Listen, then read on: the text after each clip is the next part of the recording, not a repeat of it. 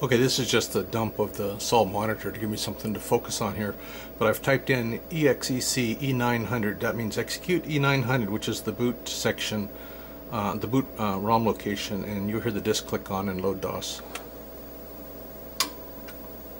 And it says North Star DOS 4.0. Now I'm going to list the disk.